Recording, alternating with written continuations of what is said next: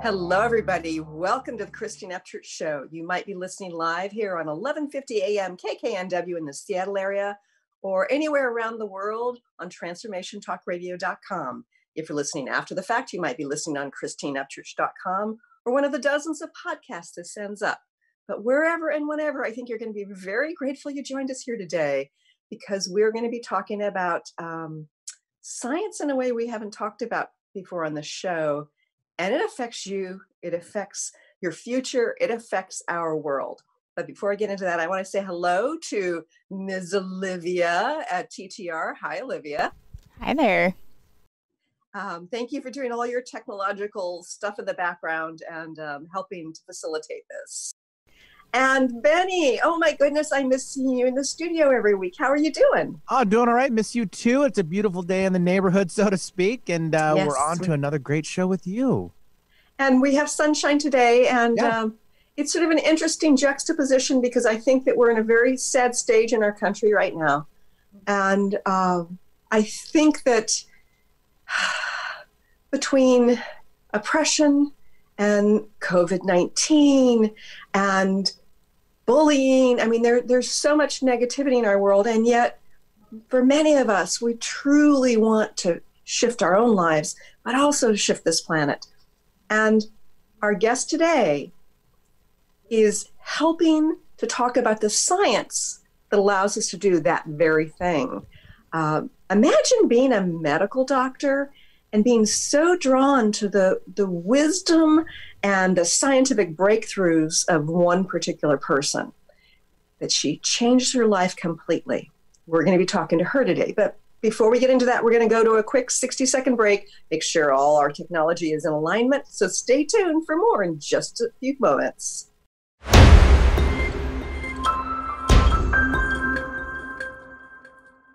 Welcome back. You're on the Christine Upchurch Show. Oh my goodness, I'm so excited about our guest today. Uh, she's a medical doctor who changed her life completely because she was so drawn to the science of Dr. Bill Tiller. William Tiller is a professor emeritus from Stanford. He's a physicist and engineer. Uh, he's done decades of consciousness research, and it's his work is groundbreaking. He is a quantum physicist but he also has explained to me that there needs to be a new science beyond quantum physics in order to explain many aspects of, of um, consciousness and intention. So I have great admiration for our guest today because she left a cushy job to, to help us to understand this. Uh, her name is Nisha Manek, and she's an alumnus of Mayo Clinic's Division of Rheumatology. She's an internationally recognized leader of integrative medicine. In her commitment to innovative approaches to health and wellness, she seeks to synthesize and unify her work as a physician and scientist with, with and the scientists with spiritual inquiry and practice. Related to the subject of consciousness and healing, Nisha moderated um, the Dalai Lama's 14th visit to the Mayo Clinic the 14th Dalai Lama's visit to the Mayo Clinic in 2008. She's a fellow of the American College of Physicians and the Royal College of Physicians of the United Kingdom. Uh, she's our guest today, Dr. Nisha Manek. Hi, Nisha. Welcome. Namaste, and thank you for having me. I'm so grateful to have you here. You. And I have to tell you, I love your book. I'm not sure if this is in camera view or not. Um, her new book is Bridging Science and Spirit the genius of William A. Tiller's physics and the promise of information medicine. Mm-hmm. And I I love that con that concept, information medicine. Mm-hmm. And before we get into some of the details, and the details are fascinating, I want to talk a little bit about what motivated you to upend your life mm. and go follow Bill Tiller. Yeah. You know, um, one of the things that have really informed my life is the search for truth. Hmm. And we all, in some way, are doing that. You know, we look to our own families, societies, we have structures in education. We're always looking for the truth, ultimately. Right. And for me, that inquiry to find the truth was in science. Science is, a, is an enormous way, a very relevant way in, in modern society to understand nature, and we are mm-hmm. part of nature. So we have a scientific question, we gather data and information and analyze it, and then we mm-hmm. find patterns. Right. We find patterns to inform our lives. I wear the seatbelt. Okay, so I, am a former research statistician. I used to design and analyze clinical trials in cancer research before I went into alternative healing. So again, my passion is the same as yours, finding truth. And there are so many different layers of truth. Yes. Um, yes. And I know that with medicine, they tend to view the human body as this functioning mechanical system, mm-hmm. this biochemical system. Yes. And so, what prompted you to look for the truth that goes beyond that? So, you're right. Medicine is stuck in chemistry. We're stuck in the structure, the nervous system, the muscular system, the vascular system. And that's what I was taught in medical school.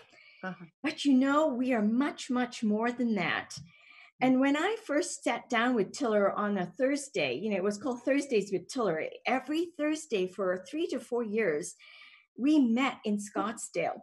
And Tiller says, you know, you know something about chemistry. I respect that. And you know something about energy, energy medicine, which is how I had approached him in the first place. Uh-huh. Subtle energies. And he says, No, Nisha, we're going to develop something even grander. We're going to look towards information medicine. And I had never heard of such a thing. Uh-huh. Information medicine. What is that? I know chemistry, I know energy, but information was a completely new ball game for me. And we mm-hmm. went there. In in all of those conversations, I began to understand some of the foundations for physics in energy, and that would lead us to information, which is really intention.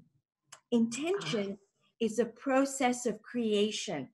Intention is so important in creating our stories, our lives, and understanding ourselves. Intention brings, well, let me put it this way in a in a in a reverse way. It gives meaning to your life. Mm. Meaning that, is more that's, fundamental. Yeah. Yeah. And that is so true that it does give meaning. Um, but is there science to back it up? Yes. And this is where, you know, when I approached Tiller, it was around subtle energies. Uh-huh. But it was something else that really made me stop in my tracks, and it's this Tiller changed a material such as water with just his intention alone. So, and I have a glass of water here. I was drinking water before we got on. Uh-huh. Imagine that, Christine, you and I were to change something about this water, and he chose the measurement of pH. Uh-huh. Water yes. is neutral, and water is what we are. Tiller set out to prove and test himself can his intention change water? That was his first target. With nothing else, just his thinking. Thought is intention. And he did that. He did that in the lab. And to him, intention is just as real as a chemical reaction, just uh-huh. as real as any physics equation. And that was stunning to me. At first, I was very doubtful. I had a huge skeptical mind that this man could even do it. Uh-huh. I'm reading his papers, but something inside said to me, pay attention. It was, you might say, a sudden hunch or intuition to mm-hmm. just mm-hmm. just play with this, just stay with this. Don't diminish it and don't brush it aside. Not to brush it aside, but uh-huh. I say give it meaning and I gave it meaning. One of the things that I find so interesting in in your book, you describe about mm-hmm. um, Bill's intention experiments. Mm-hmm. One of the things that he found was so important in these experiments was for a person to have sort of a, a clear mind, be mm-hmm. focused, as opposed to be scattered the way we often are in, in our daily lives in Western culture. Yes. Um, so, what does it mean to have that focus and clarity? Yes. yes. You know, Tiller wouldn't work with me. Uh, and, and he actually said, if I were to include you in my university, he didn't quite use those words, but I could tell. He says, first, I don't have any funding for you. And that didn't matter to me. I was with the truth. And something told me he's on to something. I want to uh-huh. know more. Yeah. He said, before I work with you, you must meditate daily. And, you know, fast forward several weeks later, when I'm sitting down with him, he said, You know something, when you meditate, it will take you time to clear out your inner crap. Oh. And here we are, you know, we are in the midst of a pandemic and the ground has shifted. There's great chaos outside, and we have mm-hmm. retreated inside to a great coherence. We ah. are capable of that in our busy lives the world over, this great country, America, has retreated inside. We have all taken an action together. We have aligned ourselves.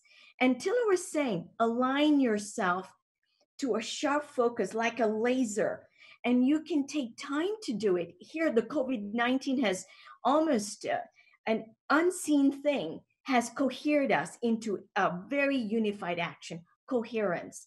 And in our minds, and an outer action can uh, be aligned together. That's what Tiller was really trying to refer to, but it can mm-hmm. take a little while. For yeah. me, and I and I see that yeah, one of the things that's happening as we sort of are on our a global retreat and and self focus, if you will. Mm-hmm. There's also the the chaotic crap, as he called it, coming out before our very eyes. Mm-hmm. The the bullying, the violence, the the yes, the resistance to taking safe approaches, mm-hmm. um, as well as people suffering greatly financially, you know, losing their their homes, um, losing their jobs, and it's the kind of thing where, on the one hand, it does feel very much like there's this centering and this focus, but on the other hand, if we pay attention to the external world, it looks like there's a whole lot of crap that needs to be cleared out. Absolutely. But you know something, something has happened. And this is my observation and talking to people and my patients that in this great chaos outside, and as they retreated, for many, they took time to have a self reflection. What's really important what am i designed to do that brings us back to that meaning okay yeah. so okay. as we re-emerge out of our homes it'll be very interesting to see do we bring that inner coherence outside now mm-hmm. do we mm-hmm. carry forward our inner uh, inquiry and i think we will we're having a simplified life we're eating meals together we're um, we may be separated, but I'll tell you, personally, I'm more connected to my family than ever before. I know their favorite colors. I know what's on their minds. I know what their days and weeks were like. I know what we're doing to troubleshoot COVID 19. We have all the pieces. We're not ignoring the outer chaos, but we have come together in very unusual ways in our life. I'm very appreciative of that. Okay. And and, and I know, Christine, I even said before we got on, my intention was to be on your show and it's manifesting. So yes. so intention is recreating your story. You can recreate your future life now. Mm-hmm. it's in this present moment. Give it meaning give it importance. Intention is information. And you know tiller said something very crucial. And if we can understand this thing deeply even as i'm talking to you i'm using energy Mm-hmm. My brain cells, my breakfast, my movement of my hands. Tiller right. said, intention is a source of energy. Uh-huh. Intention and energy are connected. Once you know that, that truth can really power our life. Mm-hmm. Intention is a resource of energy. So, what's the difference between energy and information? Mm-hmm. So this brings us to the great truth. You know, when people say energy is everything, energy is a great currency to move things forward. And I bring steam engines. That was our industrial revolution of energy. We mm-hmm. harness energy to create great machines. the machine is also here. The mitochondria create uh-huh. energy in the form of ATP. But once you have intention, now you're you're bringing that laser-like focus to energy uh, to do useful things. Let me give you an example that I've used sometimes. You see a bookcase behind me. Okay, uh-huh. that's my library. What if we tip it over and we just scatter all the books aside? Okay, everywhere now it takes Nisha's energy to put things back again. Okay, I can use my energy to put those books back. But it will take information to know which book goes where. It right. organizes the energy. Energy by itself is not useful. So when Tiller says intention, first of all, you have coherence, but you organize the energy flow. Okay. okay. That's very important. that, that makes perfect sense because I think I'm often thinking about tapping into the information in the field, so to speak, mm-hmm. and um, and um, you know perhaps that that requires energy to do that, and so it's almost like there's this this library of structure, right, yes. that yes. we can access and mm-hmm. then take a piece of it or take you know what whatever we we'll talk about what consciousness is and where it is in a minute but eh, t- take a piece of that take a part of of of you know where i'm coming from and then focus that to to create an intention for the future yeah um, yes. so we throw the word consciousness about mm-hmm. and i think about it's a key part of intention and sort of following the path to intention right? Mm-hmm. What is consciousness and and is it up here in our heads what a great question. You mentioned the word field and we can come back to that because the word field i am very specific in my book but consciousness is the great mystery in science okay? We really searched for this and in in medicine we've searched i i believe in the wrong way. We have looked for where the light is better and it's better in the brain mris Okay, uh-huh. we look at the brain, the functional MRI, blood flows, and beautiful pictures. But I can tell you when I have a preference for the color blue or my preference for Kenyan coffee, this wasn't originating in my brain. It was programmed later on. I had this primary conscious um, it's an everywhereness okay? Consciousness is not locked in to a structure like the brain. It's formless beyond space and beyond time. So when we say the word where oh the question where is consciousness? Uh-huh. the the where word misleads us. Where means where spatial uh-huh. space and consciousness is awareness. And I think we have to understand even how we ask the question. Okay. Okay. So consciousness is everywhereness. It is beyond space and beyond time. It is essentially us. It is our essence. And then we go into just the levels of consciousness. It's not just one thing. We have the consciousness of courage, we have the consciousness of grit, and inquiry and even Christ consciousness, right? There are mm-hmm. all these different um, manifestations or expressions of consciousness. And I go into that in my book. So I call it the tyranny of brain science. And Tiller showed that to me that when a human, an adept human who has meditated for a long time, holds a single intention, a single thought, they can imprint and impact a machine in a very stable way. Now, uh-huh. that machine is conscious, it holds right. something of yes. human energies and information. So it's not just the brain, that machine is conscious too. Yeah. I was a part of um, several different types of uh, research healers. Mm-hmm. And one of the things that I did was I did energy healing mm-hmm. on damaged DNA, DNA that had been heat shocked in a okay. machine. So I was I was basically doing healing on a machine, and then they looked to see how fast the damaged DNA rewound. Yes. Um, and so it's it's the kind of thing where I know that that's living thing, right? As Mm-hmm. opposed to a machine. Um, but I also did some stuff with extremely low frequency meters and stuff like that, where where it's like, yeah, you can you can manipulate things that the machines are picking up, but are you really manipulating the machine? Mm-hmm. Well, we are and we aren't. The machine actually, in the tiller device that I'm referring to, stores is a repository for the subtle energy information. It's not electromagnetic. Okay, so we're now going into an area of science of physics, which is the standard model. Okay? okay, that's where stuff is, that's where matter works, that's where atoms and molecules work. This is how I'm also, we're communicating here through right. electromagnetism. I can see you, you can see me, and my words are being transcribed into electromagnetic signals.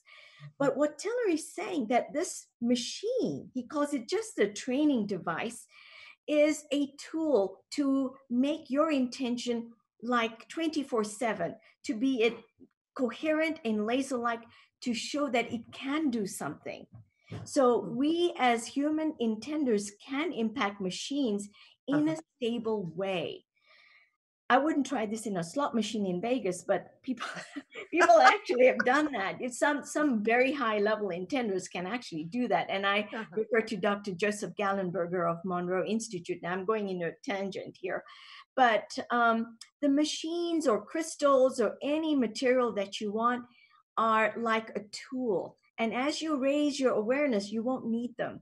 You can let them go. Okay. Uh-huh. So Tiller used a device in the physics lab because he wanted to set a protocol that other labs can follow, that we can follow. And I have a Tiller device. I carry it, I imprint it, I experiment. Uh-huh. But as we grow in consciousness, we'll find that we won't need these things. Right. And and sort of like a really rudimentary version of that, I think about people using a pendulum. Yeah. And how I mean, you can actually test a pendulum to see if its orientation is is correct for you know yes. where you are, you know, if you're coherent enough to use it, and then you get guidance based on that. But you can also just access the information directly and get that intuitive guidance without needing to to watch it spin. Right.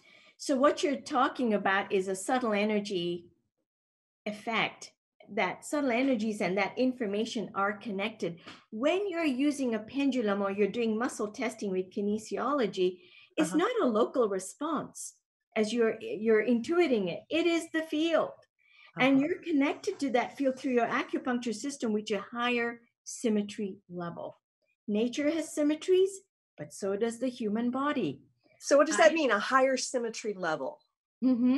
What, so nature has has um, when you organize uh, in physics when you organize uh, the matter and its levels in the nuclear physics you call it u1 gauge su2 gauge and higher okay so there are these symmetry levels and the mathematics is symmetrical so electricity okay. has electrons flowing and a symmetry is magnetism. When you move a magnet, you create electricity. Okay, there's symmetries like that. So in the body, you have the atom molecule level, which is the atom molecule stuff, but internally, the human body has the highest symmetry level, which is the acupuncture system. Higher still, that Tiller postulates is the chakra system. Okay, so the, the, the, the pump inside of us the real pump, the energy pump is the acupuncture system. That's the subtle energy. So when you meditate, when you do Qigong and Tai Chi, you're actually um, activating with your intention. You have to uh-huh. intend, you know, I'm on my mat. Right. I, I say, this is my practice for the next half hour. And you you can feel things. You can feel the subtle energy like a ball between your uh-huh. fingers. That's the symmetry that's the acupuncture is the internal symmetry of the body but here's the mystery you know when when you do dissections of the body you don't you can't see these things right you don't in the energy superhighways or the structures although more recent work in the last five or ten years there has been work from harvard university that in fact the connective tissue seems to be where the acupuncture system lies. The energetic systems actually um, communicate with the connective tissue. So, are we talking fascia here? Yeah, the fascia. The fascia. Because I, I think that um, there's a burgeoning science right now relating to fascia and how it's connected to our emotional system and and mm-hmm. um, the the dysfunction it can create and so it's fascinating to think about that being the communication system for the the the yes. flow of the energy through the acupuncture meridian. You know, I have to say, Christine, in, in medical school, that's the the connective tissue was the least interesting. We used to dump it in the pail, and oh, no. turning out to be, it's turning out to be the most important structure. Okay, it holds. It's really a connective tissue. It connects. Uh-huh all the systems, your toe to the brain. Okay, it's not separate. Uh-huh. So the acupuncture science has been um, accurate. You know, when you think about the liver and your emotions, or the spleen, and certain connections in your emotional brain, these are actually real. Okay, and I'm not an expert, but there are correlates here. So fascinating, fascinating. It starts to be very, very crucial. And I think in future in medical science, we will, we will, I, I think, teach medical students about this. Fascinating. We have to go to a quick break, but when we return, um, first of all, I'm going to tell listeners my story of how I spent a day with Dr. Bill Tiller okay. and how wonderful that was. But also, Nisha, I want to want to talk to you about the what happens to s- certain spaces and mm-hmm. and how that relates to entropy negative entropy how it relates to intention but yeah. we have to go to a quick break stay tuned for the other side with dr nisha manek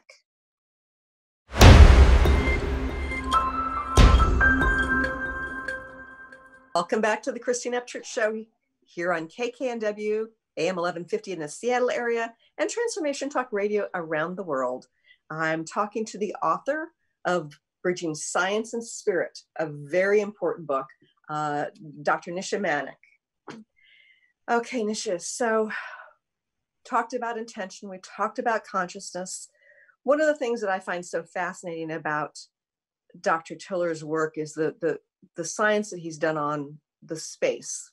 When I first met his associate Walter Dibble. Oh, I was working um, for the Reconnection. I was a uh, I was on the teaching staff for the Reconnection and helped train people, and eventually trained my at my own seminars there. And he came and he had all sorts of contraptions, and he was looking at pH and water. We'll, we'll talk about that in a minute, what that means to space. But they took the data and he took it back to the the lab and bill said you know walt there's no way i'm going to believe this. This is an anomaly. There was some some something going on. Maybe there was this power plant underneath the the ballroom of the hotel you know. He and so he was doubtful. And so he, they came back and did it again and found that something very significant was going on that the space was getting charged. Mm-hmm. um, but then i also wanted to talk about how Bill Tiller came to present at one of our mastery conferences. And because I was at the upper echelon of the organization, I was assigned to, you know, spend a day with him and his lovely wife, Jean. Mm-hmm. And I was amazed, first of all, at how personable, how kind, and how coherent, how centered he he is. And I got to watch, you know, his presentation more than you know, I've seen him present a couple of times and he's just absolutely brilliant but he does have this coherence and just so much light uh, emanating from him and, it, it, and i feel so blessed to have had that time with him yes. um, but i'm also really fascinated by this concept of how we can shift the space like I, th- I think about like going to somebody's party and you walk into the room and it's like oh something doesn't feel right here. You know we've all had that experience right? And they can explain that with you know hormones from anger or whatever but this mm. was something very different that he's doing. What is that about? Isn't that interesting? Yeah you, you touch on something that bill tiller didn't predict. He didn't predict anything to do with the space. All he was interested in let's change the water Let's uh-huh. change the pH. And he found that intention can do that. It does that through a very meditative human, and then the machine is imprinted and it does the water pH change. And it was done in Minnesota. It wasn't done at Stanford. So it was blinded. The lab didn't know the, the directive. But they also monitored the lab space. Uh-huh. Because when you want to change a material, in thermodynamics, you want to know the ambient conditions. Okay, you want to know the room temperature, you uh-huh. want to know the room um, uh, physics, the pressure, the all of those things were known. That's eh, eh, numbers, okay, and then you can mm-hmm. do calculation. So Tiller and and you're right, Walter. I, am so glad you brought brought up Walter Dibble. He's passed away now, but Walter oh, was oh. the experimental and and Tiller was the theorist. So they were a very very good team together. Uh-huh. And they would notice these very unusual fluctuations uh-huh. in the data, in the data of the air temperature of the lab and the water pH is fluctuating very rhythmically. It's not uh, this is not anomalous. It was rhythmic. They could see, and if they expand the data, blow it up, so to speak, it's like boom, boom, boom, boom. The temperature was fluctuating three whole degrees centigrade. Mm-hmm. Nothing to do with air wow. conditioning. Okay, it's nothing diurnal. So temperatures of the room go up and down with the morning or the evening. Right? They sunrise, the temperatures sure. up, and the night things cool down. But this was something different. And so Tiller did some, a, a very interesting experiment. He says, What were these waves doing? They're phantom waves. And he says, I think, I think this is important. He gave meaning to that data. Uh-huh. Didn't brush it aside, but he did something very interesting. And I visited his labs in Payson, and he's done that over there. He he took a fan. He said, "Are these air currents?" Because you know I can feel a breeze as I wave my sure. hand. But these were very rhythmic, and he put a fan there. If there were air currents, Christine, they would be obliterated immediately. Uh-huh. He's continued with the fan. Interesting. So this is not air. This isn't diurnal rhythms. This isn't um, uh, this isn't from um, the usual physics. Something else is going on. And he reasoned, I bet you this is from the physical vacuum. If it's not stuff, what is rhythmically pumping. He did uh-huh. something very interesting with the data. It's called Fourier analysis. When you have waves, yes. you can uh, you can um, analyze that mathematically to look at the rhythms. And yes. he found that all of these temperature fluctuations were nesting. Okay, from the ah. target to six meters to outside the lab it was like it was uh, music going on in in the room okay? If we had ears to hear this i think it would lift us off our feet. So like the music of the space was it, it and it happened of its own and he stumbled into it and that was the key piece to intention's high magnitude of effects and here's the other clue. When i first uh, went to Payson, um, you know, to to the Tiller Physics Lab there, I can tell you, I felt something different. Uh-huh. It was a feeling of feeling rested, a rejuvenation, and you're surrounded by computers and meters and thermometers and.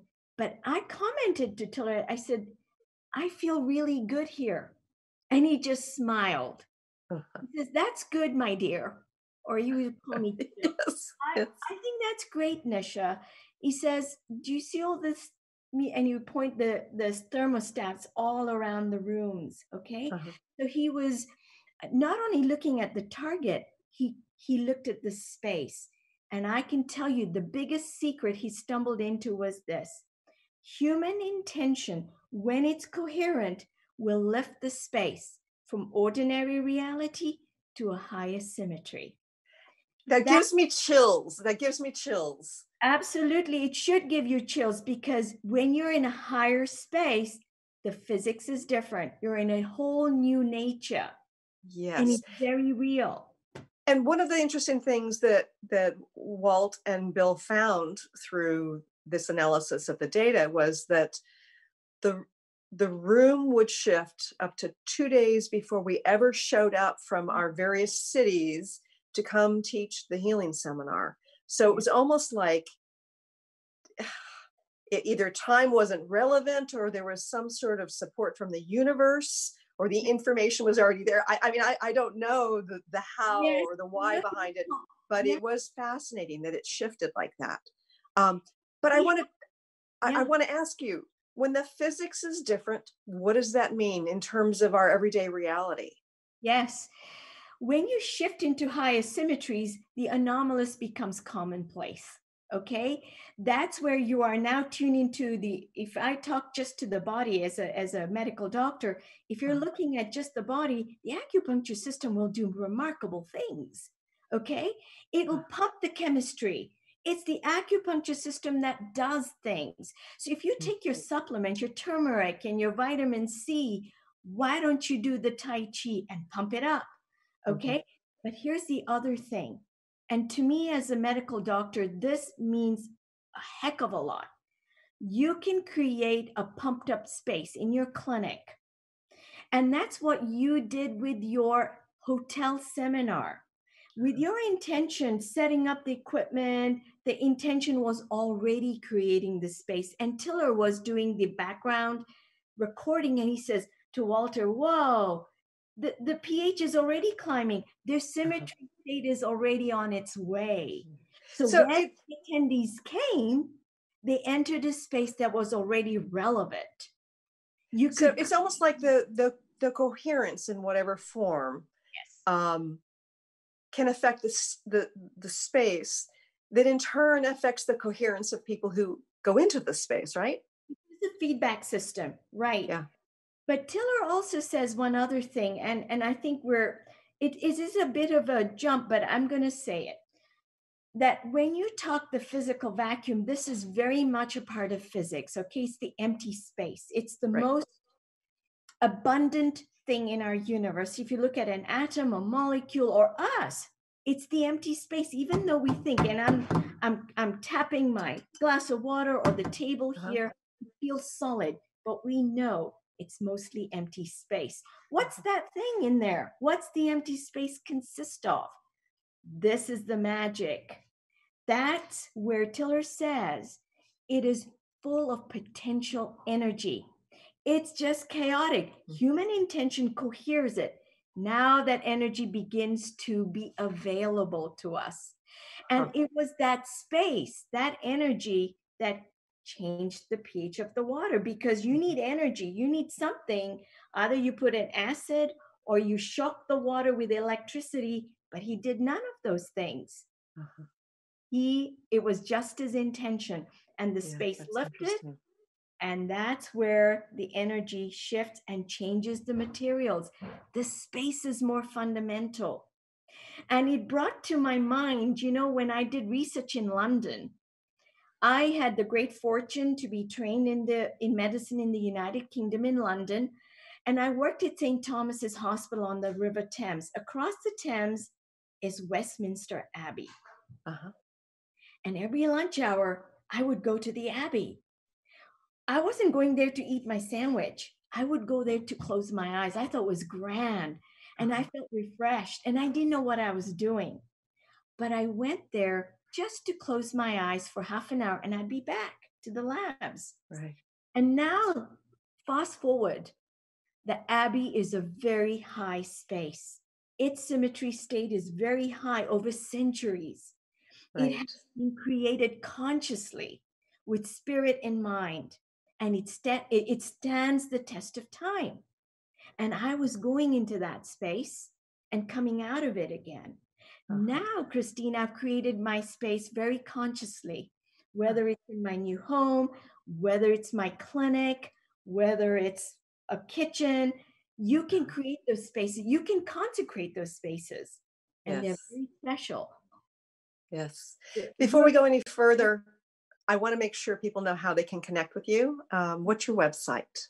nishamanekmd.com. So it's N I S H A M A N E K M D dot com. Okay. So, mm-hmm. um, there'll be lot there's lots of radio interviews recommendations and it's mm-hmm. slowly you know, it's going to expand but that's where to connect with me yeah Thank so you. i've got a i've got a question for you about the intention because the seminars that i taught at help teach these places the spaces that were getting charged a couple days before we ever showed up what we were teaching was that attention is far more important than intention when you're interacting with another. Mm-hmm. Um, it's coming from this place of allowing and observing. What is it about that that affects the physics? Mm-hmm. It's interesting you mentioned that. And Tiller did, you know, in your, I think it was the Eric Pearl experiment. Yes. Yes. Where he noticed that there was this great change in water pH ahead of time. So it was uh-huh. retrocausation, he called it. And right. he showed that with many labs, not just um, in his labs, but with Berlin. He had many other uh, investigators he teamed up with later on. Uh-huh. And he said, you could, you could tell a corner in Berlin exactly what to do. And it was ahead before we switched on our device. So something about the field is already activated. Okay. Uh-huh. We have to learn a lot, but I'm I'm giving you the generalities. Right. When you are in a conference, we all bring our intention. That's underneath the attention. Absolutely. So want to give space to the other person. To your intention is playing out in your attention. Uh-huh. And notice what happens when we have a break. We all chit chat, we all do things, we all disperse and I noticed something in the pH. They all dipped. Interesting. Okay. He said the coherence dipped for a little while, didn't go to baseline, didn't just uh-huh. disappear entirely. When the audience came back, the pH took off again. Mm-hmm. And it's so interesting that it sort of um, was along with the people's attention and the uh-huh. intention was playing out beforehand. So the right. intention is more primal, okay? And then the attention takes over. That is short lived but the intention is is always powering it up yes so one of the things i find so fascinating is this concept of negative entropy um, mm-hmm. um, can you describe for our listeners first of all what entropy is yes. and what's the significance of negative entropy and, and how does it fit into all of this so entropy um, is disorder okay so uh, it was described uh, in the 1800s by the physicists who were doing thermodynamics and um, a great uh, physicist, Ludwig, Ludwig Boltzmann, gave um, uh, the, the physics of entropy. What he said was that when you have a great steam engine, when you have that steam powering that machine through, don't think it's just the pressure and volume. Animating in that chamber are water molecules bouncing crazily. Okay, that okay. En- that's kinetic energy. That's disorder. And you can do mathematics on that okay? It's called it, it, is there mathematics for my garage? Same sort of thing? we'll get there. And i think we're going to come in future to measure the symmetry of spaces i think we're going to go there and i want anyone who is watching this the physics brainiacs in your audience to actually take the science forward i'm a physician I'm very interested in, in the information medicine aspects. We can uh-huh. go there if we have time. But you asked yeah. about neg entropy. Tiller and, and later on physicists have described that, and he saw Leon Brillouin, he was a Frenchman, and, and he said, whenever you create information, you reduce disorder. You reduce Interesting. Entropy, okay? And when you reduce entropy, you have more energy it's actually standard physics fascinating and so mm-hmm. but that's the place where where healing occurs that's the place where insight occurs it's it's um so the reducing entropy is a very positive thing absolutely neg entropy means you have more energy neg entropy is what you are creating in your healing clinics uh-huh. and and you know when i when i sit down with my patient and i doodle i actually draw a lot of my medical um, advice it's just i'm a visual learner and you'll see sure. yes. there's a lot of doodles and cartoons there. It's it's how I actually drew the bridge out. And Tiller says, "I like this bridge. It's going to uh-huh. stand." Uh-huh. Okay, so he was part of that, you know, initial project. When I'm with my patient, I draw the information. That exchange increases coherence and compliance in my patient. That okay. is coherence. It's negentropy. So we're we're running out of time here and i want to hear more about how you utilize this fascinating science mm-hmm. and bring it to integrative medicine and and what your vision of the future is with medicine. Right. You know when i was at the mayo clinic which is really a tower of conventional care just the most supremely beautiful conventional care i felt it was still in, incomplete. I i just mm-hmm. we're not a bunch of bi- biomolecules and and it was my patients asking me questions about acupuncture or tai chi and that's what led me to tiller's work so what i do now is i do the conventional i do the chemistry it's it's very much part of my foundation but i also advise energy medicine which is the highest symmetry state so i uh-huh. say here's your prescription here is your nutrition here's your lifestyle we have to go there I right. clarify that. Then we build it to in uh, to uh, energy perspective. So I teach them a little bit of breathing techniques and early forms of Tai Chi. I actually show them the bedside and give them some YouTube videos that they can follow through. That's great. Then I bring in information. I say, Your intention is very powerful. And then we talk about spirit practice. So it's doing all those levels. It's not just chemistry, not just energy, not just information, but we bring spirit and you do all of those levels. And I think the outcomes are so much more robust.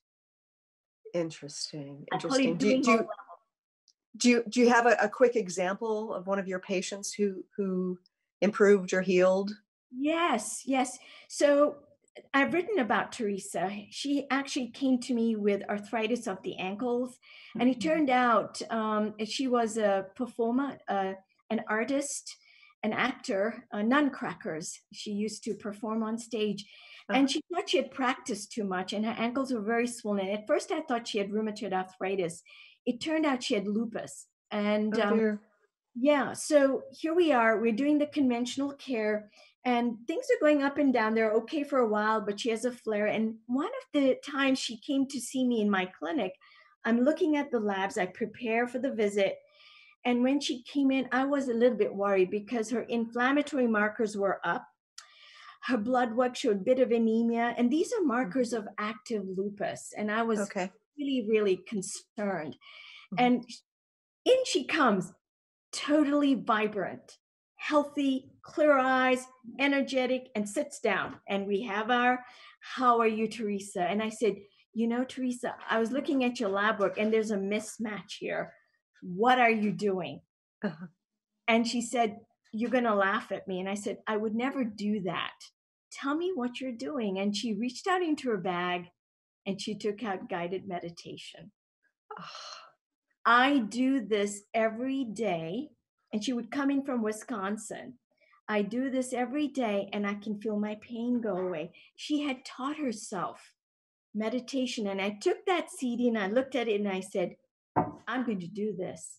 I need to introduce integration of the mind body yes. and the physical. I didn't prescribe steroids for her. I said, I'm going to see you a little sooner.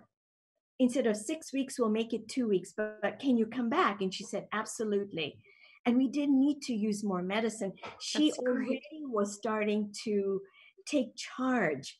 And mm. I can mm-hmm. give many, many other examples, but here's one who had a serious disease. Yeah. She accepted her medicine, but took charge into meditative practices. She That's took it. Fabulous. Yeah. That's fabulous. I want to mention your book again, Bridging Science and Spirit.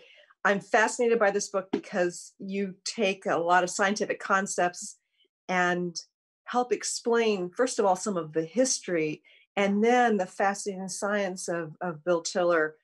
And I, I tell you from the bottom of my heart, I'm really grateful for this because this will help take his fascinating experiments and and research mind and make this accessible um, for places like medicine and into our daily lives. So thank you for that. And, you know, I'm so glad that it became my intention to have you on too, Manek.